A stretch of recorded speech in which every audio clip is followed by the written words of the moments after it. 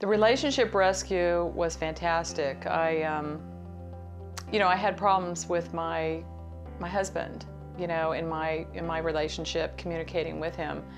And you know, uh, I have a great marriage. I always thought I had a great marriage, but there was just some issue there that I was bothering both of us. Like we didn't want to talk about it. We were just like ignoring it. And um, you know, after 12 years of, of ignoring something, uh, it just sort of festers, and it did. It uh, festered to the point where we had an argument. It wasn't uh, a very pretty argument, and um, I just didn't know what to do. Um, so in the relationship uh, rescue that Daphna helped us with, it was uh, sitting down, the three of us, and confronting the issue, and we sorted it out in two and a half hours.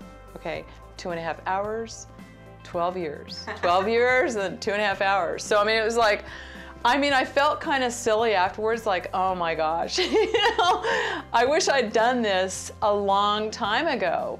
And, uh, you know, divorces happen over little issues that fester. I felt so relieved. It was like this huge burden that was lifted off my shoulders that I had been carrying around for 12 years. Um, and I felt like I could finally breathe.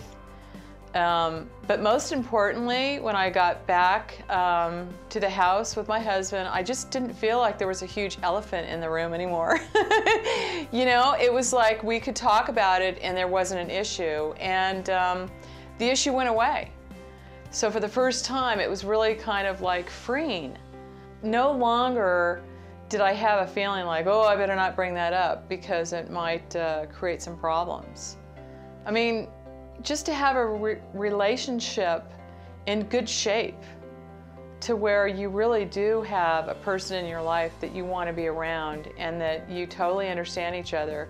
You may have different viewpoints, but you're not attacking each other on the viewpoints.